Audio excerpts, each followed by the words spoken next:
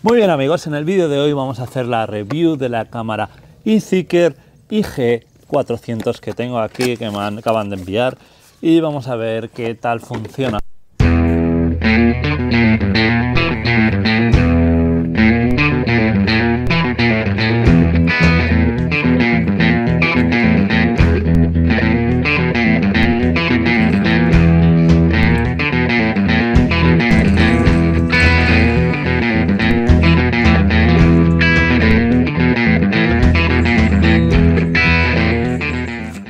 Vamos a colocarla en el bosque y vamos a ver qué tal se ven los vídeos por la noche, durante el día. La dejaré durante una semana y veremos a ver qué obtenemos.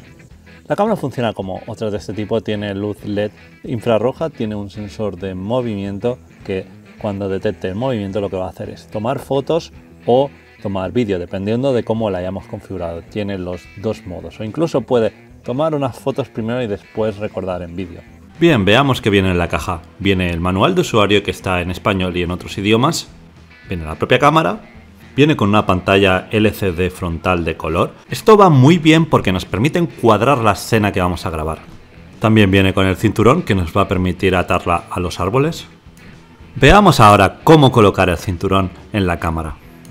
Tenemos que colocar el cinturón por estos dos agujeros que hay aquí. Primero lo pasamos por este que está más a la derecha y luego lo pasamos por el siguiente y con esto ya quedaría el cinturón preparado para que lo podamos atar la cámara a un árbol o a cualquier otro poste que nos encontremos por el bosque.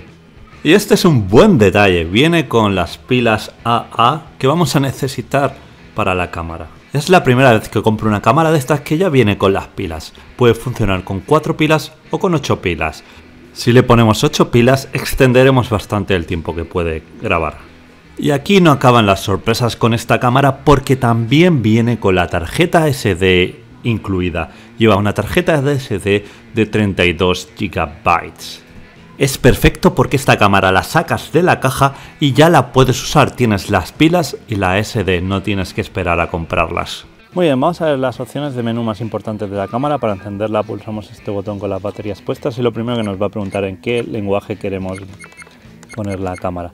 Este caso vamos a ponerla en español y lo primero que tenemos que hacer es poner la fecha y hora actual. Ok, vamos a ponerlo aquí correctamente. La primera vez nos va a preguntar si queremos formatear la tarjeta SD y le vamos a decir que sí. La tarjeta SD ya hemos visto que venía incorporada. Ahora nos vamos a la parte de menú.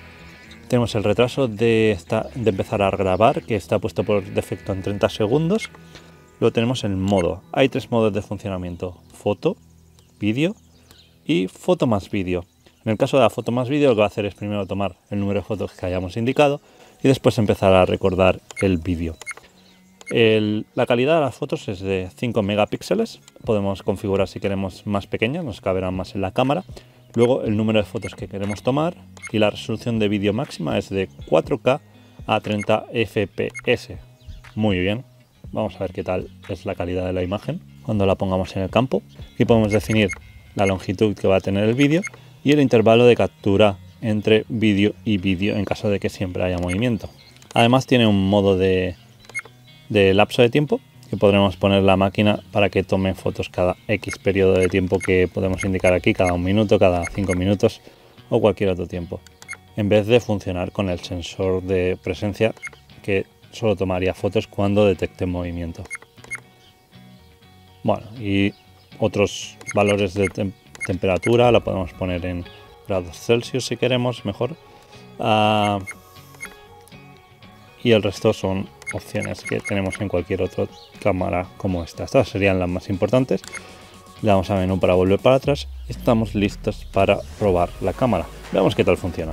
Bueno, antes de ponerla a la montaña voy a probarla aquí a ver qué tal funciona de día y vamos a experimentar con Mr. White. Viene por ahí.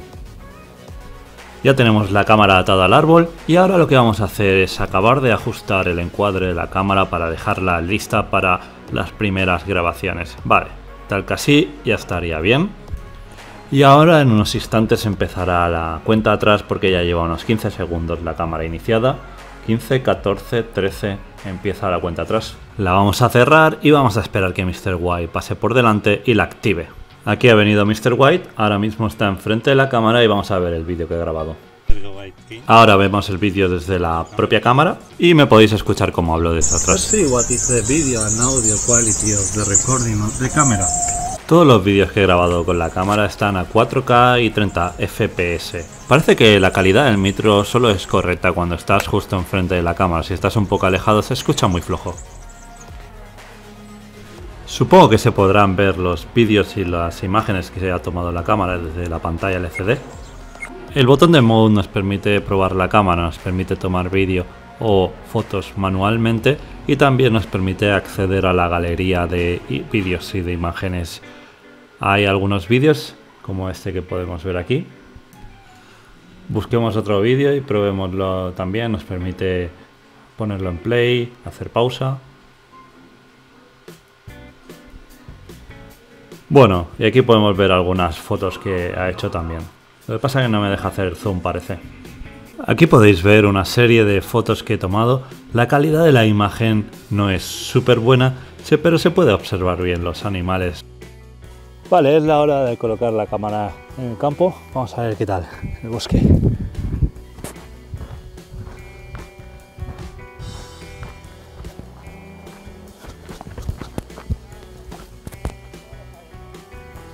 Vale, vamos a colocar la cámara en este árbol. La suelo colocar bastante baja porque los animales suelen ser bajos, entonces esta forma he visto que obtengo las mejores capturas.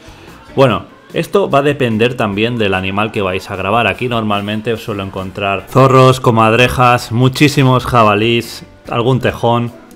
Pero todo dependerá del animal que vayáis a grabar. Si vais a grabar ciervos, pues colocarla más alta. Me gusta que los botones estén retroiluminados porque nos va a permitir verlos por la noche. Cuando salga el menú empezará a grabar en 30 segundos. La cámara puede quedarse aquí durante semanas y meses si no hay mucha actividad.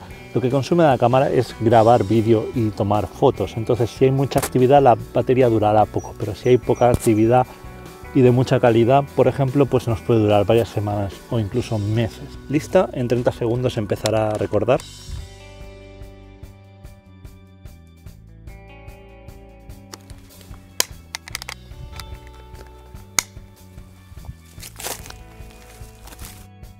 Ahí está la cámara, esta es la zona donde vamos a grabar.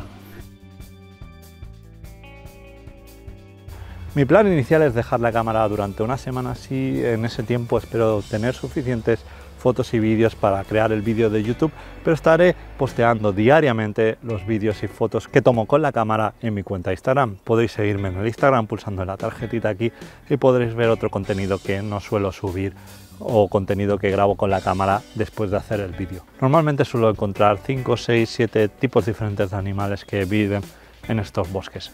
Bueno, una semana más tarde es momento de ir a recoger la cámara y ver qué hemos capturado. Vale, perfecto, la cámara sigue donde estaba, nadie se la ha llevado, vamos a pararla y vamos a ver qué hay dentro. Si tienes una cámara de caza, te recomiendo mucho que consigas uno de estos dispositivos. Este dispositivo tiene un cable USB-C en este lado y tiene una ranura para insertar SDs y micro SDs. Este dispositivo va muy bien porque si lo tienes no tienes que coger la cámara, llevarla a casa, descargar las fotos en el ordenador y volver al bosque a poner la cámara. Te ahorrarás un viaje, irás al bosque con el dispositivo y te las descargarás al móvil en un solo viaje. Os voy a enseñar cómo hago para pasar los vídeos al móvil. Conecto la tarjeta SD al dispositivo y el dispositivo al móvil y ya me lo reconoce. Aquí aparecerá la carpeta. Me voy a la carpeta donde están contenidos los vídeos, que en este caso solo tengo uno, no ha habido mucho movimiento este día.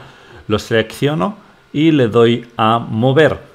Entonces selecciona el almacenamiento, entonces selecciona el almacenamiento interno de mi móvil y busco la carpeta donde guardo los vídeos de la cámara. Lo voy a renombrar y aquí queda guardado con todos los otros vídeos. Vamos a ver algún vídeo de los que tengo grabado. Otra cosa buena de esta cámara es que produce los vídeos en un formato que los puedo abrir directamente en Android. No necesito convertirlos ni nada, puedo verlos directamente. Aquí tengo algunos vídeos, este de un pájaro y el anterior de un jabalí. Está lleno de jabalís. Y una vez hemos acabado con eh, la tarjeta SD, lo que hacemos es desmontarla en el móvil y la volvemos a poner a la cámara y ya nos podemos ir a casa. No necesitamos dar dos viajes. La cámara funciona perfectamente, no me ha dado ningún tipo de problema.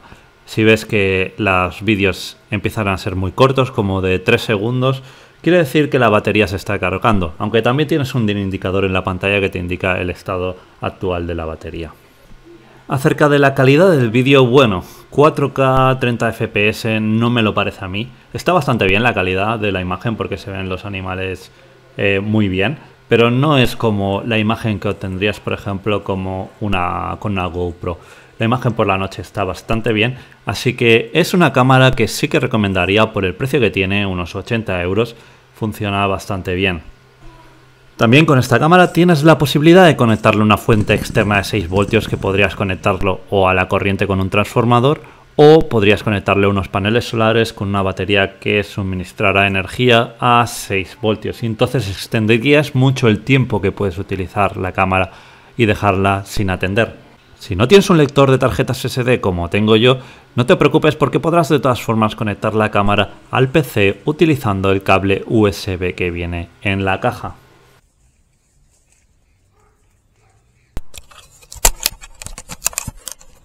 Os dejo un link en la descripción del producto y así lo podéis encontrar fácilmente si os han interesado. Espero que este vídeo os haya sido de ayuda. No olvidéis de darle a me gusta y suscribiros al canal para ver más vídeos como este. Nos vemos en el siguiente vídeo.